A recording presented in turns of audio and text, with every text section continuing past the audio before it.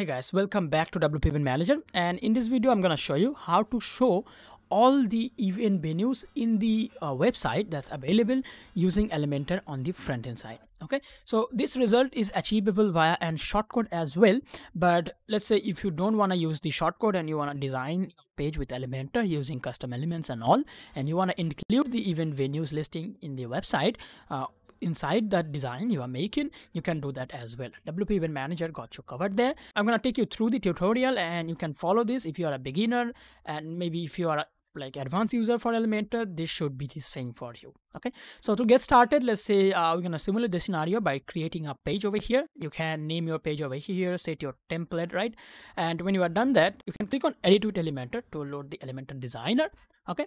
So what element you need is available under WP Event Manager. So over here, uh, you need to search for event venues. Okay, so that uh, element we need, you can drop it over here or wherever you want if you have an existing layout and it will list out all the event venues available in this website right? So you can see it over here.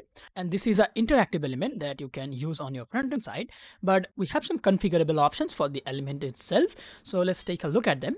We have like the order ascending or descending then we have the order by which uh, the mechanism for order or sorting so by default we have title you have id name modified and random okay? So let's say name uh, it will sort it alphabetically. Random it will sort out like randomly. So these are like grouped over here. As you can see like the alphabets are grouped over here right so you can play with the sorting mechanism here, such as the title, ID, name, uh, modified time, last modified time, and random. But no matter what you do, uh, they will appear on a group and they will get sorted as well.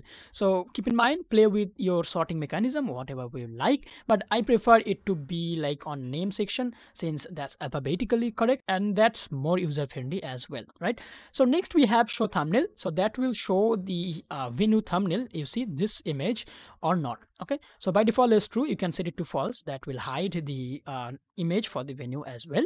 And you can like configure it as you like right? Then we have show count. So show count means like what venue have how much events uh, with them right? So let's say if this venue Kolkata has uh, one event binded to it right now so it shows one right here. Same for the the new awesome venue and the stadium as well. So you can hide those count. So if you want to hide them you can set this show count to false and they will get hidden all right so pretty like simple configurations you can play around with and why use elementor instead of using a shortcode to display this page if you ask. When you are creating a page you cannot really make an exciting design with uh, like default page editor right? So for that you have visual editors uh, or like drag and drop editors as we call them like visual editor from wp bakery from elementor. So this is elementor tutorial okay? So i'm to simulate this scenario. Let's say if we modify this page a little bit let's set it to full width. And now uh, the like header section and the sidebar is gone right? So you can also like drag and drop custom elements over here as well. Let's say if we want to add uh, let's say a inner section over here right? So let's say a call out section. So let's change this uh, sections background to something else. Let's choose a file from here see? And now we can like add an image over here let's say a button over here. So let's do that anyway. Uh, you have a better understanding of uh, what i'm talking about here right? So a button here uh, let's say text over there right here right? So let's set it to white style text color. Let's say white right. So you get the basic idea what i'm talking about over here. So now like this you can create a beautiful uh, layout designing. And uh, let's drop it over here. And we're gonna drop an image over here okay? So let's like get the image and put it there. And we're gonna set it to let's say this one okay?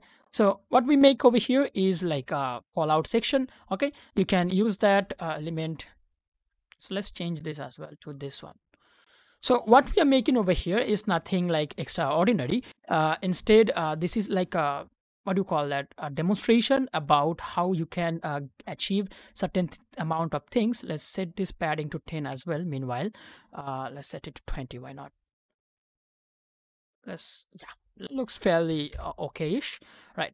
So what i'm trying to prove here is you can like uh, use this Elementor to create beautiful designs uh, alongside with uh, your event venue that's being listed over here okay? So create your design using elementor if you want to include the event venues. Inside your design you can do it in this way right? So it's not limited to event venue only. You can like use our first majority of elements that our WP Event Manager provides. You can find them under WP Event Manager here, and you can include all of them inside your Elementor design, right? So when you are done designing, you can hit publish, and then you can take a look at it in the front end side, right?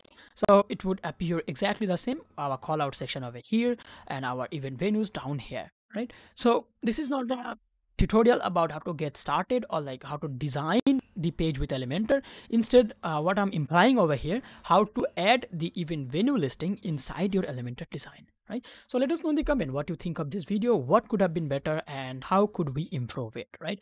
So until next time, I'm Sharad saying goodbye. Thank you for watching and I'll catch you in the next one.